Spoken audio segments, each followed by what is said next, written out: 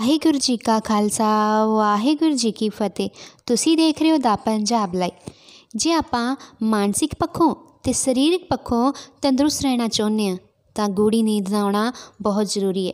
ਕਿਉਂਕਿ ਗੂੜੀ ਨੀਂਦ ਵਿੱਚ ਹੀ ਆਪਾਂ ਆਪਣੇ ਸਰੀਰ ਵਿੱਚ ਉਹ ਊਰਜਾ ਇਕੱਤਰ ਕਰਦੇ ਹਾਂ, ਜੋ ਅਗਲੇ ਦਿਨ ਲਈ ਸਾਨੂੰ ਫੁਰਤੀਲਾ ਬਣਾਉਂਦੀ ਹੈ।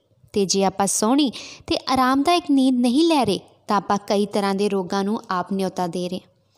ਆਓ ਇਸ ਲਈ ਜਾਣਦੇ ਹਾਂ ਕਿ ਆਪਾਂ ਨੂੰ ਕੀ ਕਰਨਾ ਚਾਹੀਦਾ ਸਭ ਤੋਂ ਪਹਿਲੀ ਗੱਲ, ਜਿੱਥੇ ਆਪਾਂ ਸੋਣਾ ਹੈ, ਉੱਥੇ ਕਿਸੇ ਤਰ੍ਹਾਂ ਦਾ ਕੋਈ ਫੋਨ, ਕੰਪਿਊਟਰ, ਲੈਪਟਾਪ ਇਹ ਜਿਹਾ ਕੁਝ ਨਾ ਹੋਵੇ।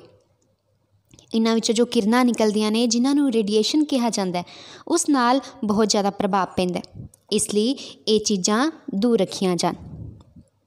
ਦੂਜੀ ਗੱਲ, ਹਮੇਸ਼ਾ ਜੋ ਵੀ ਆਪਣਾ ਸੌਣ ਦਾ ਸਮਾਂ ਉਹ ਇੱਕ ਹੀ ਹੋਣਾ ਚਾਹੀਦਾ ਇਹਦੇ ਨਾਲ ਆਪਣਾ ਦਿਮਾਗ ਉਵੇਂ ਕੰਮ ਕਰਨ ਲੱਗ ਜਾਂਦਾ ਵੀ ਮੈਂ ਇਸ ਸਮੇਂ ਸੌਣਾ ਇਸ ਨਾਲ ਆਪੇ ਫਿਰ ਉਸੇ ਸਮੇਂ ਨਿੰਦਰ ਆਉਣ ਲੱਗ ਜਾਵੇਗੀ। ਸੌਣ ਤੇ ਜਾਗਣ ਦਾ ਸਮਾਂ ਸਹੀ ਹੋਏਗਾ ਨਾ, ਤਾਂ ਫਿਰ ਆਪੇ ਨਿੰਦਰ ਉਸੇ ਟਾਈਮ ਆਉਣ ਲੱਗ ਜਾਏਗੀ।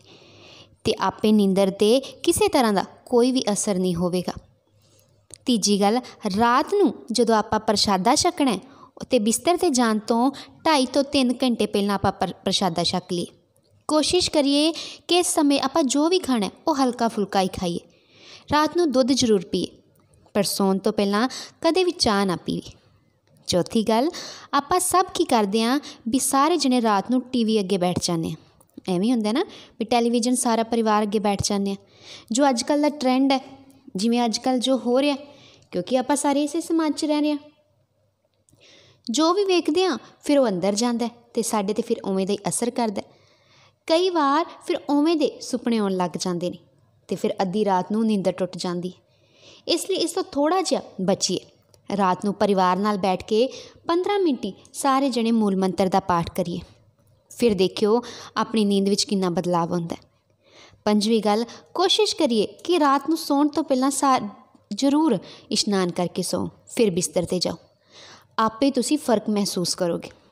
ਰਾਤ ਨੂੰ ਕੀਰਤਨ ਸੋਲੇ ਦਾ ਪਾਠ ਜ਼ਰੂਰ ਕਰਕੇ ਸੋਵੋ। ਇਹਦੇ ਨਾਲ ਬਹੁਤ ਸੋਹਣੀ ਨੀਂਦ ਆਊਗੀ। ਫਿਰ ਆਓ ਮਿਲ ਕੇ ਇਹ ਪੰਜ ਜੋ ਚੀਜ਼ਾਂ ਨੇ, ਇਹ ਕਰੀਏ ਅਤੇ ਆਪਣੀ ਨੀਂਦਰ ਨੂੰ ਬਿਹਤਰ ਬਣਾਈਏ।